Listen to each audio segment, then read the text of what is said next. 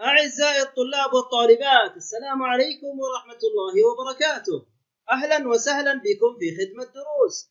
اليوم لدينا درس بعنوان المجسمات لمادة الرياضيات للصف الثاني ابتدائي.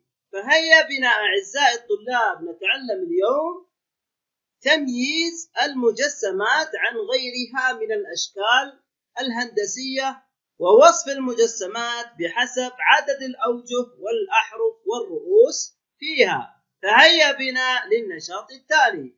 هذه مجسمات وللمجسم ثلاثة أبعاد. إذا يا أبطال سنستعرض مجموعة من المجسمات وأول هذه المجسمات يا أبطال هو الكرة. إذا يا أبطال الكرة تعتبر من المجسمات والمجسم الآخر يا أبطال يسمى مكعب. وكذلك هذا المجسم يا أبطال يسمى هرم. وهذا المجسم يا أبطال يسمى مخروط. وهذا المجسم يسمى أسطوانة. وهذا المجسم يسمى يا أبطال متوازي مستطيلات.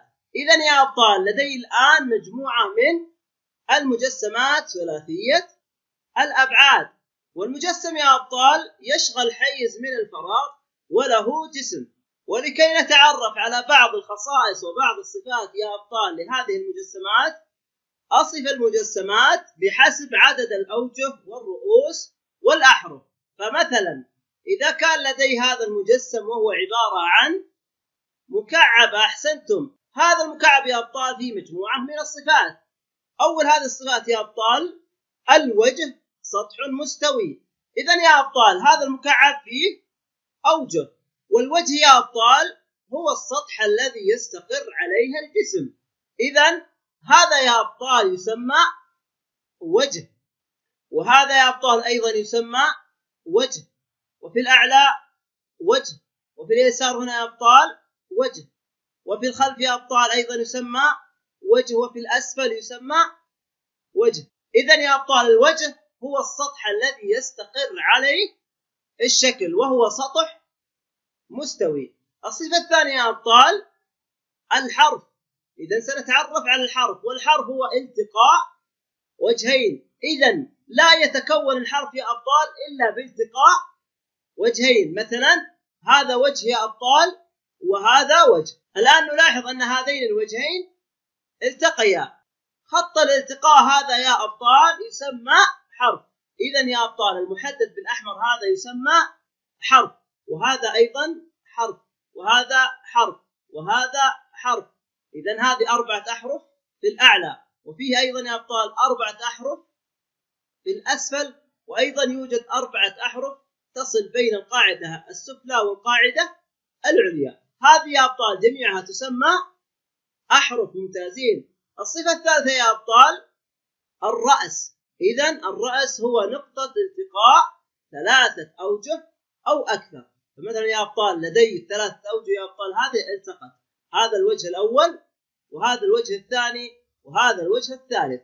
نقطة التقاء يا أبطال هذه الأوجه تسمى رأس. إذا هذا يا أبطال يسمى رأس وهذا رأس وهذا أيضا رأس وهذا أيضا رأس. إذا لدي أربعة رؤوس يا أبطال في القاعدة العليا وأيضا لدي أربعة رؤوس في القاعدة السفلى إذا لدي ثمانية رؤوس في هذا الشكل. إذا يا أبطال سنتعرف في المجسمات على عدد الأوجه في كل مجسم وعدد الأحرف وعدد الرؤوس. أحسنتم. ننتقل الآن للمثال الأول. أكتب اسم المجسم ثم أحوط الشكل الذي له الشكل نفسه. ممتازين. هذا المجسم يا أبطال ذكرنا أنه يسمى متوازي مستطيلات. إذا ما هو الشكل من بين هذه الأشكال يا أبطال؟ الذي نستطيع أن نقول أنه متوازي مستطيلات. ممتازين. علبة المناديل يا أبطال على شكل متوازي مستطيلات. هل هذه العلبة يا أبطال على شكل متوازي مستطيلات؟ لا أحسنتم. هل هذا الشكل يا أبطال عبارة عن متوازي مستطيلات؟ نعم ممتازين إذا هذا يمثل نفس الشكل هل علبة الهدية يا أبطال تشبه متوازي مستطيلات؟ أحسنتم تشبه أيضا متوازي المستطيلات ننتقل للتدريب الأول اكتب اسم المجسم ثم أحوط الشيء الذي له الشكل نفسه ماذا سمينا هذا المجسم يا أبطال؟ ممتازين سميناه. مخروط أحسنتم. أي الأشكال التالية يا أبطال؟ يعتبر مخروطي الشكل. أي نفس الشكل هذا؟ ممتازين. بسكوت الايس كريم يا أبطال يعتبر مخروطي الشكل. هل هذا الشكل مخروط؟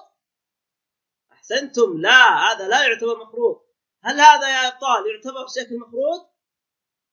ممتازين. إذا نضع عليه دائره هل هذه يا أبطال تعتبر شكل مخروط أحسنتم هذه لا تعتبر شكل مخروط ممتازين. ننتقل للمثال الثاني. اكتب اسم المجسم ثم ألون الأشكال المشابهة له. ما اسم هذا المجسم يا أبطال؟ أحسنتم. أسطوانة. إذا هذا المجسم يا أبطال اسمه أسطوانة. الآن يا أبطال نلون الشكل الذي يشبه الأسطوانة. هل هذا تعتبر أسطوانة يا أبطال؟ لا أحسنتم هل هذا الشكل يعتبر أسطوانة؟ نعم ممتازين إذا نلون هذا الشكل هل هذا الشكل يعتبر اسطوانة يا أبطال؟ نعم أحسنتم ننتقل للتدريب الثاني اكتب اسم المجسم ثم ألون الأشكال المشابهة له ما اسم هذا المجسم يا أبطال؟ أحسنتم متوازي مستطيلات هل هذا الشكل يا أبطال يشبه شكل متوازي المستطيلات؟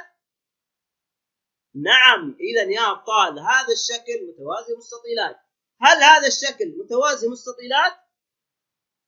لا هذا يا أبطال يعتبر أسطوانة أحسنتم إذا لا نلونه هل هذا الشكل يعتبر متوازي مستطيلات؟ نعم ممتازين إذا نلون هذا الشكل ننتقل الآن للمثال الثالث. أعد الأوجه والأحرف والرؤوس مستعينا بالمجسمات المرسومة في كل مما يأتي. إذا يا أبطال لدي المجسمات التالية وسنوجد عدد الأوجه وعدد الأحرف وعدد الرؤوس. أول هذه المجسمات يا أبطال هو مكعب. إذا يا أبطال هذا المكعب. كم عدد الأوجه في المكعب؟ الوجه يا أبطال هو سطح مستوي. وهو السطح الذي يستقر عليه الشكل. الآن نحسب عدد الأوجه في المكعب. هذا يا أبطال في الأعلى واحد وفي الأسفل واحد إذا اثنان. وهذا واحد ثلاثة. وهذا في الجنب يا أبطال أربعة. وهذا في الأمام خمسة. وفي الخلف ستة. أحسنتم. إذا كم عدد الأوجه في المكعب؟ ستة يا أبطال أحسنتم. الآن نوجد الأحرف. الحرف يا أبطال هو التقاء. وجهين أحسنتم. إذا نحسب الأحرف يا أبطال الآن. واحد اثنان ثلاثة أربعة. لدي يا أبطال القاعدة العليا أربعة. وفي السفلى أيضا أربعة. واحد اثنان ثلاثة أربعة. إذا أربعة وأربعة تصبح ثمانية. ولدي أحرف تصل بينهما يا أبطال. هذا واحد اثنان ثلاثة أربعة أيضا. إذا ثمانية نضيف لها أربعة تصبح يا أبطال اثنا عشر. إذا المكعب له اثنا عشر حرفا يا أبطال. الآن نحسب عدد الرؤوس. الرؤوس يا أبطال هي التقاء ثلاثة أوجه.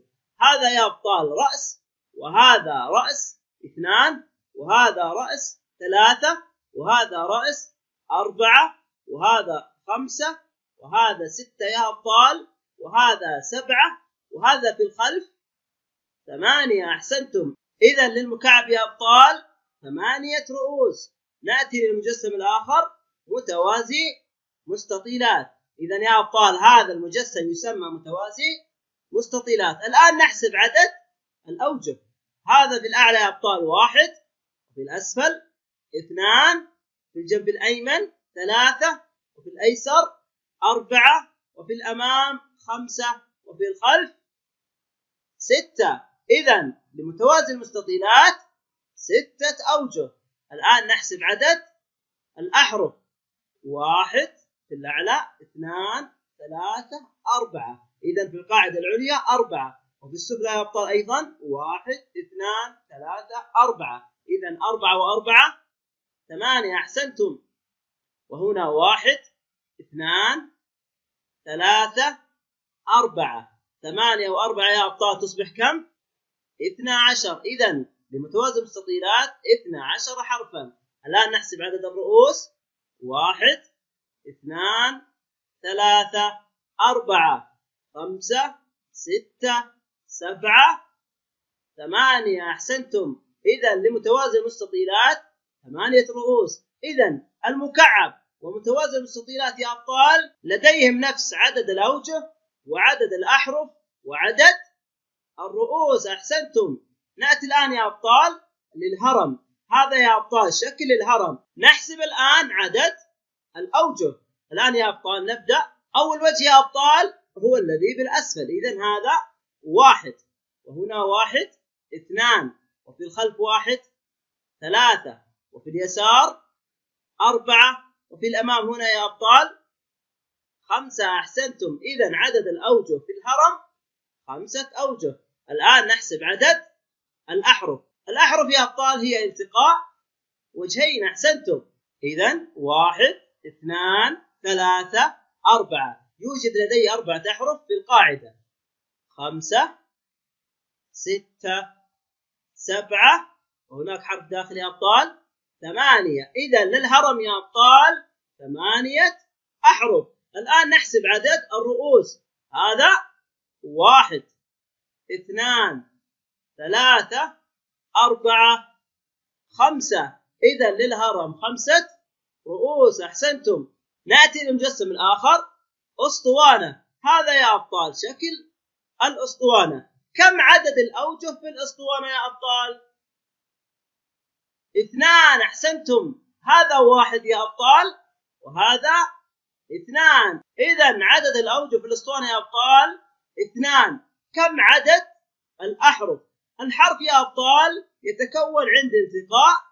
وجهين هل أوجه الأسطوانة تلتقي يا أبطال؟ لا أحسنتم. اذا كم عدد الأحرف؟ صفر ممتازين.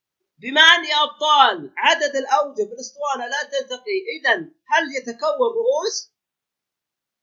ممتازين. إذا لا يوجد لدي رؤوس في الأسطوانة. إذا نكتب صفر. إذا الأسطوانة لديها وجهين ولديها صفر من الأحرف ولديها صفر من الرؤوس. أحسنتم. الآن نأخذ يا أبطال المخروط. هذا شكل المخروط يا أبطال. كم عدد الأوجه في المخروط؟ أحسنتم. وجه واحد. اذا يا أبطال هذا يمثل وجه المخروط الوحيد. اذا نكتب واحد. كم عدد الأحرف في المخروط يا أبطال؟ أحسنتم. صفر. لماذا صفر يا أبطال؟ لأن المخروط له وجه واحد والحرف لا يتكون يا أبطال إلا بالتقاء وجهين. أحسنتم. اذا عدد الأحرف في المخروط صفر. ممتازين. الآن يا أبطال نأتي بعدد الرؤوس. كم لدي رأس المخروط؟ ممتازين. لدي رأس واحد. أحسنتم. نأتي المجسم الآخر وهو كرة. هذه يا أبطال الكرة. كم عدد الأوجه يا أبطال في الكرة؟ أحسنتم. صفر. لا يوجد سطح مستوي يا أبطال في الكرة. كم عدد الأحرف؟ صفر. أحسنتم. وكم عدد الرؤوس في الكرة؟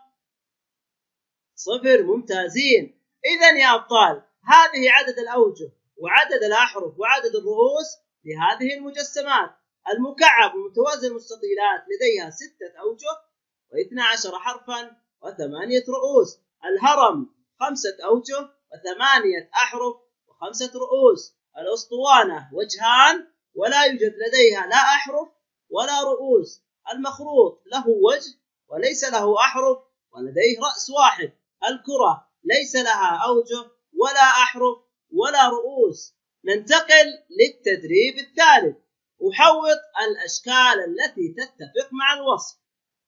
ستة أوجه واثنا عشر حرفا وثمانية رؤوس. هذا الوصف يا أبطال. ما هي المجسمات التي تنطبق عليه؟ أحسنتم. المكعب ومتوازي المستطيلات. ما هي الأشكال يا أبطال؟ هنا التي تشبه المكعب أو متوازي المستطيلات. أحسنتم. الهدية يا أبطال. هل هذا الشكل يا أبطال يعتبر مكعب أو متوازي مستطيلات؟ لا أحسنتم. هل هذا الشكل يعتبر مكعب أو متوازي مستطيلات؟ نعم أحسنتم. ننتقل للتدريب الرابع. أحوط الأشكال التي تتفق مع الوصف. صفر وجه صفر حرف صفر رأس. ما هو المجسم يا أبطال؟ الذي يكون هذا وصفه؟ أحسنتم. الكرة. ما هي الأشكال التي تشبه الكرة؟ ممتازين. هذا أول شكل. هل البرتقالة ينطبق عليه هذا الوصف؟ نعم أحسنتم. هل هذا المجسم ينطبق عليه هذا الوصف؟ لا أحسنتم. ننتقل الآن لسؤال التقويم الأول. اكتب اسم المجسم ثم أحوط الشيء الذي له الشكل نفسه. ماذا نسمي هذا المجسم يا أبطال؟ ممتازين. نسميه هرم. هل هذا المجسم يعتبر هرم يا أبطال؟ لا أحسنتم. هل هذا المجسم يعتبر هرم؟ ممتازين. إذا نلون هذا المجسم. هل هذا المجسم يعتبر هرم يا أبطال؟ ممتازين. إذا نلون هذا المجسم. ننتقل لسؤال التقويم الثاني. أحوط الأشكال التي تتفق مع الوصف اثنان وجه صفر حرف صفر رأس هذا الوصف يا أبطال ينطبق على أي مجسم؟ الأسطوانة أحسنتم الآن نحدد يا أبطال ونحوط الأشكال التي تشبه الأسطوانة هل القلم يا أبطال يشبه الأسطوانة؟ نعم أحسنتم هل هذه العلبة يا أبطال تشبه الأسطوانة؟ ممتازين. نعم تشبه الأسطوانة. هل هذا الشكل يا أبطال يشبه الأسطوانة؟ ممتازين. هذا الشكل لا يشبه الأسطوانة. أحسنتم.